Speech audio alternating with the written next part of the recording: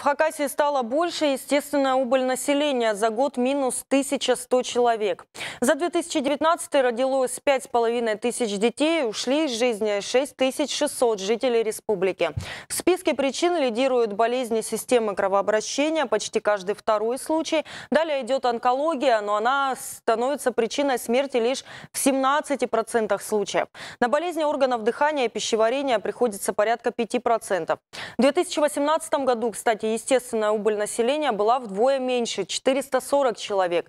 Ну а что касается младенцев, то мальчиков в прошлом году родилось больше, чем девочек – на 220.